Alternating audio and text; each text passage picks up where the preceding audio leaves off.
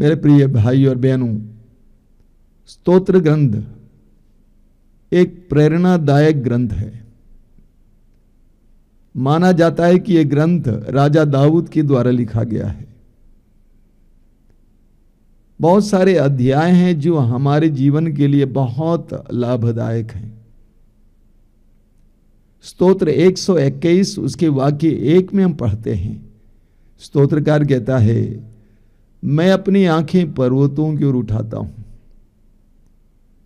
मैं अपनी आँखें पर्वतों की ओर उठाता हूँ, क्या वहाँ से मुझे सहायता मिलेगी? जिसने स्वर्ग और पृथ्वी को बनाया है, वही मेरी सहायता करता है। एक दृढ़ विश्वास और भरोसे से भरी हुई प्रार्थना है। स्तोत्रकार कहता है कि मैं अपनी आँखें पर्वतों की ओर उठाता हूँ, क्या वहाँ से मुझे सहायता मिलेगी? जिसने स्वर्ग और पृथ्वी को बनाया है, वही मेरी सहायता करता है। मैं एक बहन को जानता हूँ, जिसका पति शराबी था, और शराब पीकर उसने अपने घर की सारी संपत्ति को एक तरह से बेच डाला। और दुर्भाग्यवश वो कैंसर से मर गया। मरते समय तक वो ईश्वर से और लोगों से मेल मिलाप कर चुका था। लेकिन जब वो मरा था उस समय, उसने अपनी पत्नी और तीन बेटियों और एक बेटे के लिए क्या छोड़ के गया था? मात्र छोटी सी ज़मीन और दो कमरे का एक घर। वो बहन बहुत प्रार्थना करने वाली थी। दिन रात प्रार्थना करती थी। जब जीवन में दुख आ जाते हैं तो लोग प्रार्थना करने लगते हैं। शराबी पति के कारण और बच्चों के भविष्य के बारे में सोचकर वो नारी बहुत प्रार्थना करती थी। उस बहन ने मुझसे कहा कि जब पति का देहांत हुआ, उस समय उसने बाइबल खोला तो उसको यही वचन मिला था। मैं अपनी आँखें पर्वतों की ओर उठाता हूँ। मैं अपनी आँखें पर्वतों की ओर उठाता हूँ। क्या वहाँ से मुझे सहायता मिलेगी जिसने स्वर्ग और पृथ्वी को बनाया है? वही मेरी सहायता करता है। उस बहन ने वास्तव में प्रभु पर भरोसा रखा और प्रभु के भरोसे के सहारे उसने अपने तीनों बेटियों को नर्स बनाया और एक बेटे को इंजीनियर बनाया। आज सारे बच्चे अच्छे खासे हैं। स्तोत्रकार कहता है कि मैं अपनी आँखें पर्वतों की ओर उठाता हूँ। ये पर्वत कौन सा पर्वत है? सियोन पर्वत। सियोन पर्वत जिस पर पवित्र नगर यरूशलेम बसा हुआ था।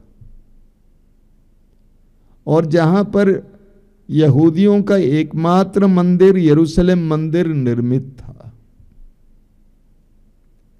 यहूदियों का एक ही मंदिर था। उनके बहुत सारे प्रार्थना भवन थे जो सभागृह कहलाते थे। लेकिन एक ही मंदिर था यरूशलेम मंदिर। जहाँ पर यहूदी लोग बलिदान चाहते थे, प्रभु का सान्निध्य देखने, महसूस करने आया करते थे। और इसलिए वे यरूशलेम की ओर मुड़ते थे तो बड़े आदर के साथ मुड़ते थे। सियोन पर्वत की ओर मुड़ते थे, बड़े आदर के साथ मुड़ते थे, उसकी ओर देखते थे। यरूशलेम मंदिर उनके लिए आशा का केंद्र था, आस्था का केंद्र था। इसलिए जब भी वे प्रार्थना करते थे, उस ओर देखकर प्रार्थना किया करते थे। हम दानियल के ग्रंथ के अध्याय छः उसके वाक्य ग्यारह में पढ़ते हैं। दानियल बाबुल में निर्वासित था। परदेश में रहते हुए भी दानियल अपने जीवित ईश्वर की आराधना किया करता था। वहाँ पे लिखा हुआ है, वो अपने घर के उस का, उस दरवाजे को खोलता था, जिस ओर यरूशलेम था, और प्रतिदिन तीन बार अपने प्रभु ईश्वर को धन्यवाद की प्रार्थना चाहा करता था। यरूशलेम जाना यहूदियों के लिए बड़े आनंद का विषय था। प्रभु यीशु यरूशलेम मंदिर में चाहे गए थे। बारह साल की उम्र में यरूशलेम मंदिर में खो गए थे या पाए गए थे। और यरूशलेम मंदिर अक्सर जाया करते थे और वहाँ पर लोगों को शिक्षा दिया करते थे।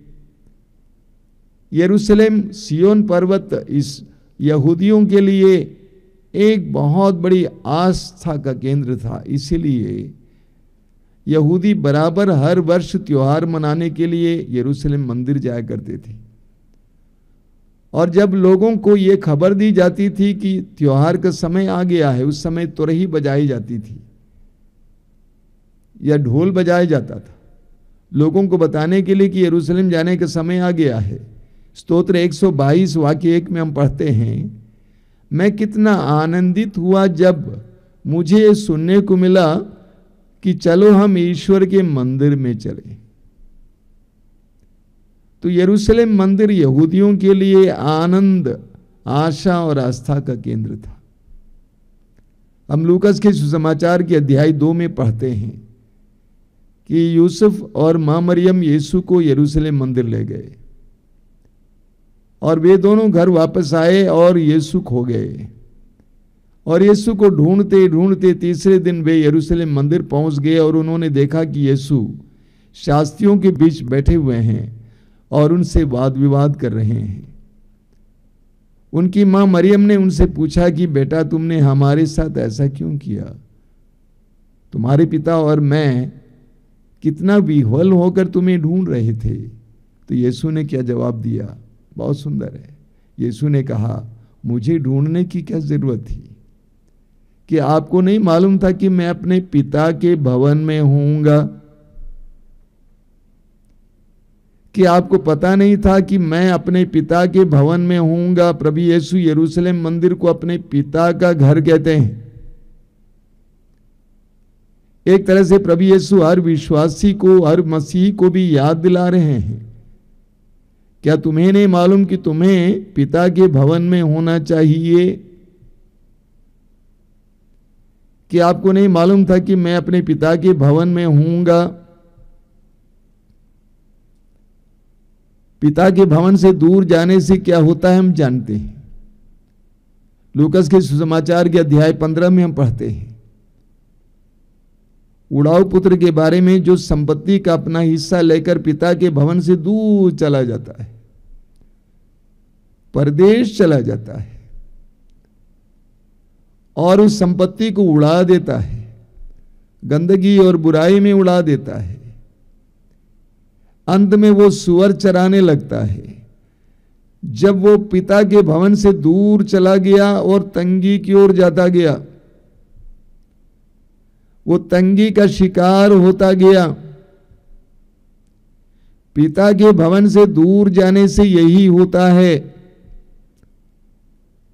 लेकिन जब वो वापस आ जाता है पिता के भवन की ओर, पिता पिता उसे वस्त्र दिलाता है, अंगूठी दिलाता है, चप्पल दिलाता है, उसके उसके आदर में भोज की तैयारी करता है। जो उसने खोया था, वो सब पिता के भवन में वापस आने से वो पा जाता है। हमारी भी कहानी कुछ उड़ाव पुत्र की कहानी जैसी है। प्रभु यीशु ने माँ मरियम से कहा कि आपको नहीं मालूम कि मुझे अपने पिता के घर घर पे होना चाहिए। मैं हूँ उस पिता के घर पे होऊँगा। हम पिता के भवन से इतना दूर चले गए हैं कि हम तंगी के शिकार हो गए हैं। ये तो हमारी कहानी है। प्रतिदिन मेरे कमरे में कई परिवार आते हैं, दूर दूर से। करीब करीब सभी समय यही कहता हूँ। आपकी समस्याओं का कारण यह है कि आप प्रभु से बहुत दूर चले गए। कल ही एक परिवार आया था युवक युवती पहला बच्चा हुआ, बहुत जल्दी मर गया। और दोनों कह रहे थे कि हम लोग जो सोचते हैं वो होता नहीं है। मैंने कहा, कैसे होगा? जब तक आप पिता के भवन से दूर रहेंगे, आप जो सोचते हैं वो होगा नहीं। आपको पिता के भवन में वापस आना है। यही समस्या का समाधान है। तो प्रभु यीशु ने कहा कि ये मेरे पिता का भवन है, यरूशलेम मंदिर। मेरे अब्बा, मेरे डैडी, मेरे पापा का घर है। स्तोत्र चौरासी के वाक्य ग्यारह में स्तोत्रकार कहता है, हज़ार दिनों तक और कहीं रहने की अपेक्षा एक दिन तेरे प्रांगण में बिताना अच्छा है। हज़ार दिनों तक और कहीं रहने की अपेक्षा एक दिन तेरे प्रांगण में बिताना अच्छा है। दुष्टों के शिविरों में रहने की अपेक्षा ईश्वर के मंदिर की सीढ़ियों पर खड़ा होना अच्छा है स्तोत्रकार कहता है, हज़ार दिन अन्यत्र रहने से अच्छा प्रभु के मंदिर में, उसके प्रांगण में रहना अच्छा है। दुष्टों के शिविरों में रहने की अपेक्षा प्रभु के मंदिर की सीढ़ियों पर खड़ा होना अच्छा है। प्रभु के मंदिर से हमें आनंद प्राप्त होता है। उसी अध्याय के वाक्य पाँच में हम पढ़ते हैं, तेरे मंदिर में रहने वाले धन्य है, वे निरंतर तेरा स्तुति गान करते हैं। इसका अंग्रेज़ी में गुड न्यूज़ बाइबल में अनुवाद है happy are those who dwell in your house यानी तेरे मंदिर में रहने वाले कितने आनंदित हैं। तेरे मंदिर में रहने वाले कितने आनंदित हैं। स्तोत्र 16 उसके वाक्य 11 में हम पढ़ते हैं। स्तोत्रकार कहता है कि तेरे सानिध्य में मुझे परिपूर्ण आनंद प्राप्त होता है। अंग्रेज़ी में इसका अनुवाद है in your presence is the fullness of joy तेरे सानिध्य में मुझे परिपूर्ण आनंद प्राप्त होता है। प्रभु के मंदिर में मुझे परिपूर्ण आनंद प्राप्त होता है। स्तोत्र चार, उसके वाक्य आठ में लिखा हुआ है, जो आनंद तू मुझे प्रदान करता है, वह उस आनंद से गहरा है, जो लोगों को अंगूर और गेहूँ की अच्छी फ़सल से मिलता है। स्तोत्रकार कहता है, तेरी उपस्थिति में मुझे जो आनंद प्राप्त होता है, तुझसे मुझे जो आनंद प्राप्त होता है, वो अन्य, दुनिया के अन्य आनंद से बहुत गहरा है। प्रभु के मंदिर में हमें आनंद प्राप्त होता है। आप जानते हैं प्रभु के मंदिर में, प्रभु के सानिध्य में रहने से आपके जीवन में क्या हो सकता है?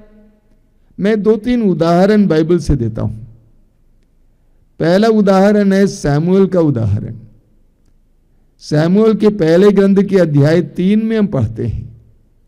सैमुअल की माँ हन्ना ने सैमुअल को प्रभु को अर्पित किया था।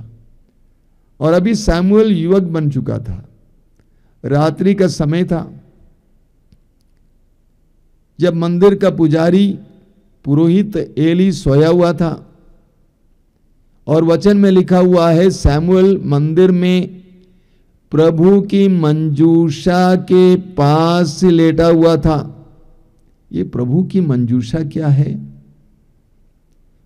मूसा को ईश्वर ने दिए दस नियमों को दो पार्टियों में लिखकर उन पार्टियों को एक मंजूषे में, एक बक्स में रखा हुआ था। और उसको हम प्रभु का मंजू, प्रभु की मंजूषा कहते हैं। तो सैमुअल उस मंजूषा के पास लेटा हुआ था, रात का समय था, मंदिर में था। सैमुअल को आवाज़ आई, सैमुअल सैमुअल। सैमुअल ने सोचा कि पुरोहित ने मुझे बुलाया है और वो दौड़कर एली के पास जाता है, कहता है कि आपने मुझे बुलाया, उसने कहा, नहीं तो। फिर सैमुअल लेट गया, फिर सैमुअल को आवाज़ आई सैमुअल सैमुअल फिर चला गया। फिर पुरोहित ने कहा कि मैंने तुम्हें नहीं बुलाया। जब तीसरी बार इस तरह हुआ तो पुरोहित को लगा कि ईश्वर सैमुअल से बात करना चाहता है। और इसीलिए एली ने कहा कि बेटा, अगली बार सुनाई देगी आवाज़ तो कहना बोल प्रभु। तेरा दास सुन रहा है। ऐसा ही हुआ। और सैमुअल से प्रभु बोलने लगे। सैमुअल से प्रभु ने इसराइल के बारे में, एली के परिवार के बारे में सैमुअल के भविष्य के बारे में बताया। उसी अध्याय के वाक्य 19 में हम पढ़ते हैं कि प्रभु ईश्वर ने सैमुअल से जो कहा उसमें से एक भी वचन धरती पर गिरने दिया गया ईश्वर ने। यानी एक एक वचन सैमुअल के जीवन में पूर्ण हुआ। सैमुअल इसराइल का नायक बना। सैमुअल इसराइल का न्यायाधीश बना। न्यायकर्ता बना। और सैमुअल ने इसराइल के लिए बड़े बड़े राजाओं को अभिषेक दिया। ये सब कब हुआ? जब सैमुअल प्रभु के मंदिर में लेटा हुआ था, बाज़ार में नहीं था। शयन कक्ष में नहीं था, बाज़ार में नहीं था, बल्कि प्रभु के मंदिर में लेटा हुआ था। एक दूसरा उदाहरण लीजिए सियास नबी का ग्रंथ अध्याय छे। वहाँ पे लिखा हुआ कि सियास मंदिर में बैठा हुआ था। और अचानक सियास प्रभु की महिमा से ढक गया। और इसियास ने कहा कि हाय, मैं मर जाऊँगा, क्योंकि मैं पापी हूँ, मैं पापी होंठ वाला मनुष्य हूँ, और ऐसे लोगों के बीच रहता हूँ जो पापी होंठ वाले हैं, और मैंने प्रभु की महिमा को देखा है। मैं मर जाऊँगा। तब वेदी पर से एक सराफिम, एक दूत जलते हुए अंगारे को लेकर आया, सामुल के होठों को स्पर्श किया और कहा कि, लो, तुम शुद्ध हो गए हो। उसके बाद प्रभु ईश्वर से आवाज़ आई, मैं किसे भेजूं अपने संदेश वाहक के रूप में? इसियास ने कहा, मुझे भेज। पापी होंठ वाला चुगली करने वाला, गाली देने वाला, गंदगी बोलने वाला इसियास प्रभु के मंदिर में बैठा हुआ था और ईश्वर ने उसे एक महान नबी के रूप में नियुक्त किया। इसियास कहाँ बैठा हुआ था? प्रभु के मंदिर में, बाज़ार में नहीं था। प्रभु के मंदिर में यह होता है। एक तीसरा उदाहरण मैं आपके सामने रखता हूँ। जाकरिया का उदाहरण। लूकस के सुसमाचार के अध्याय एक, उसके वाक्य आठ से हम पढ़ते हैं। योहन बपतिस्ता के पिता। एलिजबेथ का पति जकरिया निसंतान था। पुरोहित था। और मंदिर के अंदर प्रभु की वेदी के सामने वो धूप चढ़ा रहा था। वचन में लिखा हुआ कि सारी जनता बाहर खड़ी थी और जकरिया धूप चढ़ा रहा था मंदिर में। जब वो अकेले प्रभु के सानिध्य में था उस समय उसे स्वर्गदूत दिखाई दिया और स्वर्गदूत ने कहा कि डरिए नहीं आपकी प्रार्थना सुनी गई। क्या के लिए प्रार्थना करता था जकरिया? एक संतान के लिए। आपकी प्रार्थना सुनी गई, आपकी पत्नी एलिजबेथ गर्भवती होंगी और एक पुत्र प्रसव करेंगी और उसके बाद पूरा विवरण दिया गया है। जब जकरिया प्रभु के सानिध्य में प्रभु को धूप चढ़ा रहा था उस समय उसके परिवार में एक चमत्कार होता है, उसकी बूढ़ी पत्नी का गर्भ खोल जाता है। जब प्रभु के सामने आप प्रार्थना में लीन हो जाते हैं, उस समय आपके परिवार में चमत्कार होते हैं।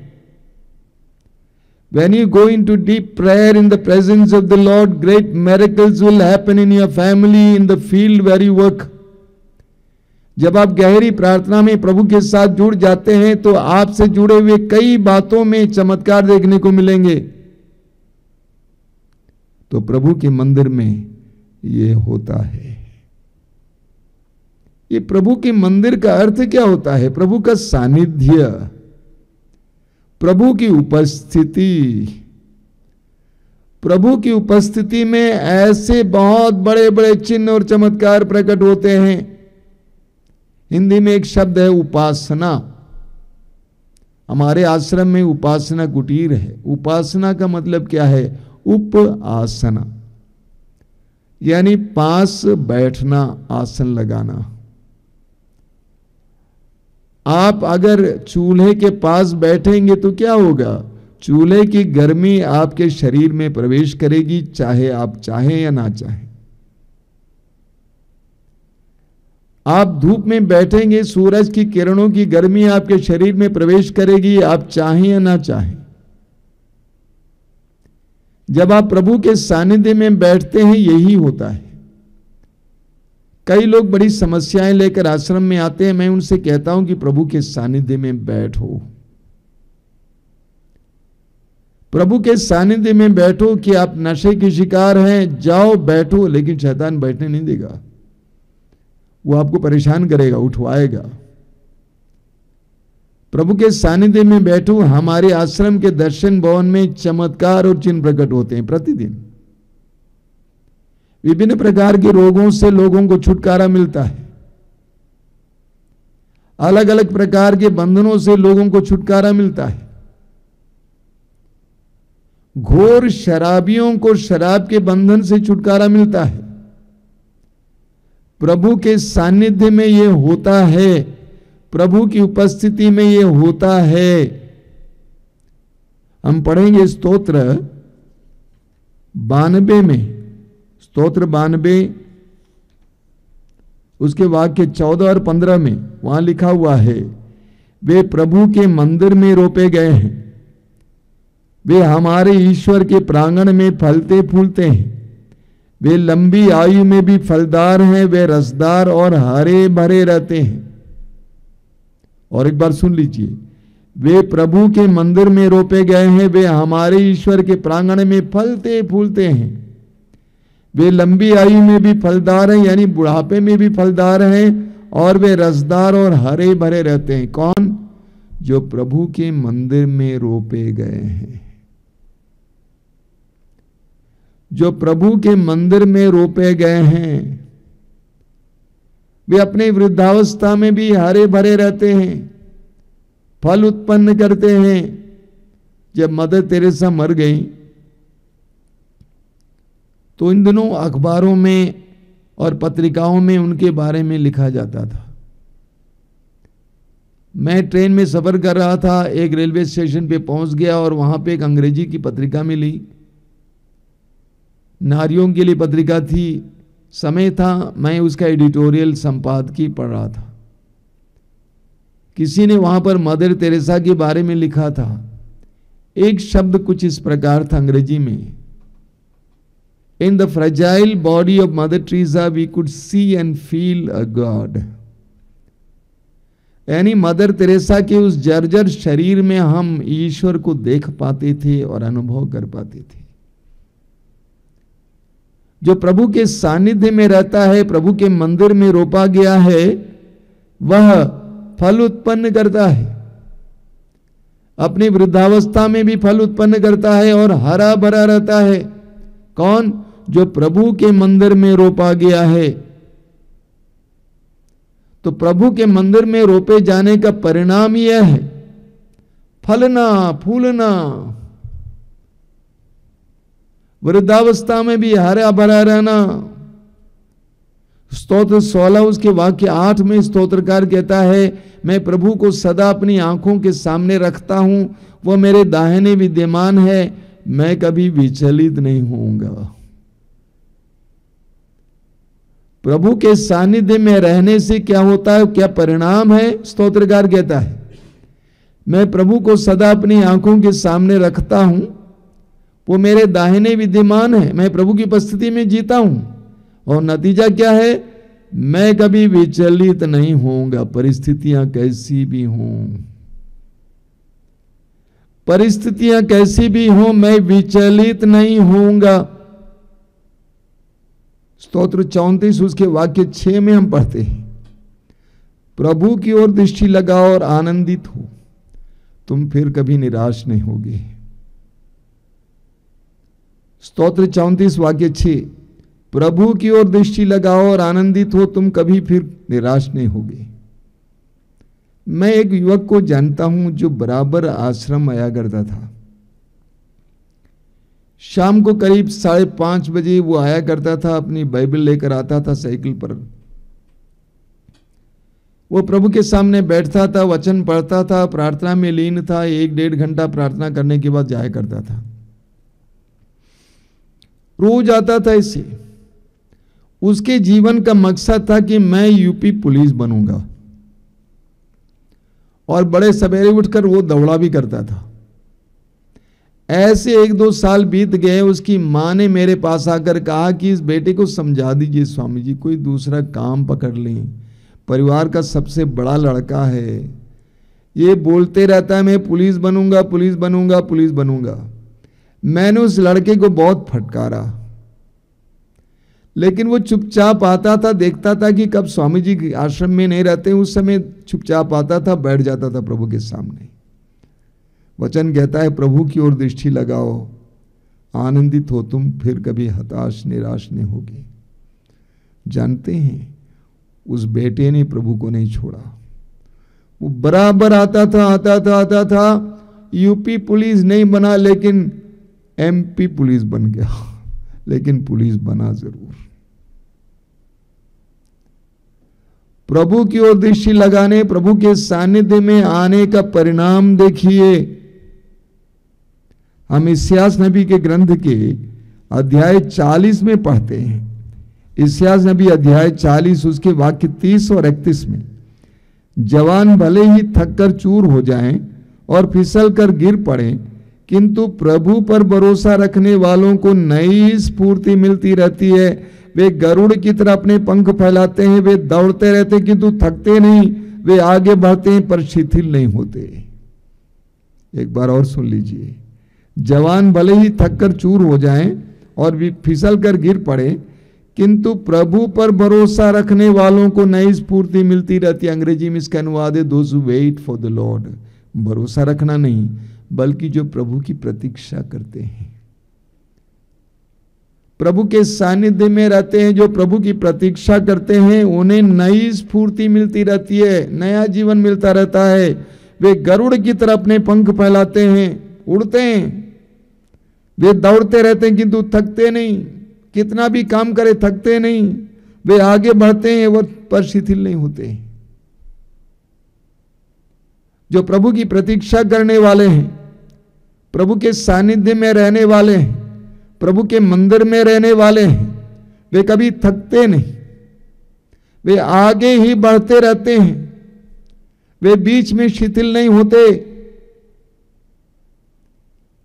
प्रभु के मंदिर की ओर देखने वाले, जाने वाले, प्रभु के मंदिर में निवास करने वाले, उनको प्रभु का आनंद, प्रभु का सामर्थ्य प्राप्त होता है।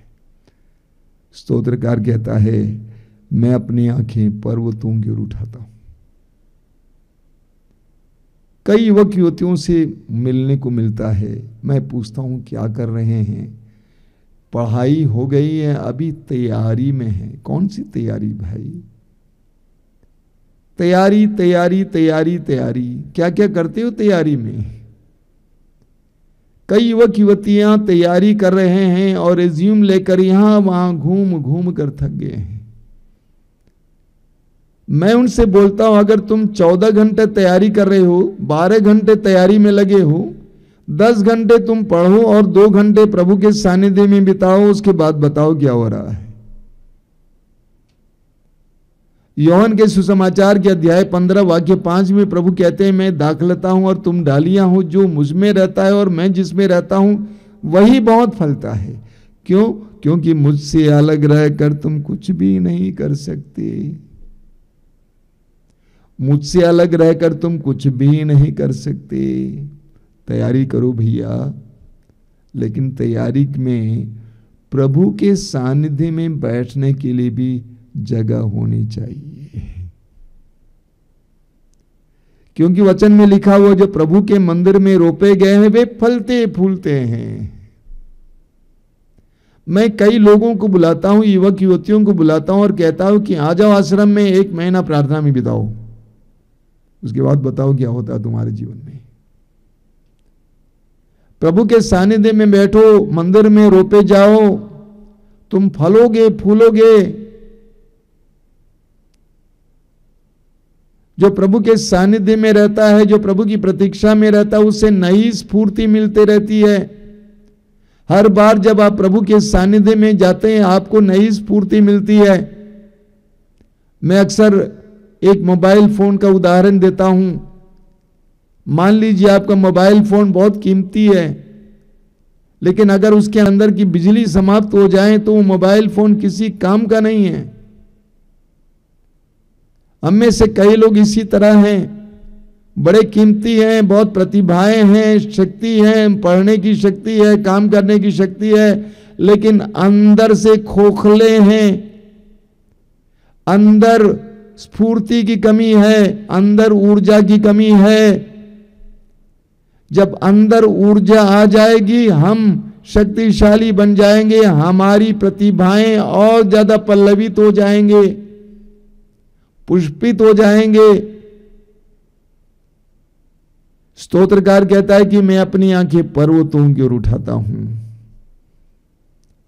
ईश्वर के निवास स्थान की ओर अपनी आँखें उठाइए। मंदिर में रोपे जाइए। जिस तरह सैमुअल के जीवन में प्रभु ने चमत्कार दिखाया इतिहास के जीवन में चमत्कार दिखाया जकरिया के जीवन में चमत्कार दिखाया, जो मंदिर में थे उसी तरह जब आप प्रभु के सानिध्य में आएँगे और प्रभु के सानिध्य में समय बिताना सीखेंगे, प्रभु आपके जीवन में भी चिन्ह और चमत्कार प्रकट करेंगे। हम प्रभु के पास आए, प्रभु के मंदिर में आए, प्रभु के सानिध्य में आए। आइए हम प्रार्थना करें।